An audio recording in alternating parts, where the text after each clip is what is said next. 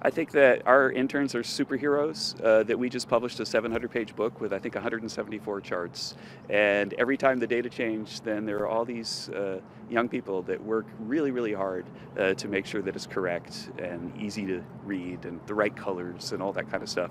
And we thought, uh, just like a post-credit scene in, in a movie, that if we added something a little bit humorous at the end, that everybody would read their names, and, and that's what we want. We want our interns to get the recognition they deserve. By the way, my son was an intern at CEA, so I care a lot about the interns.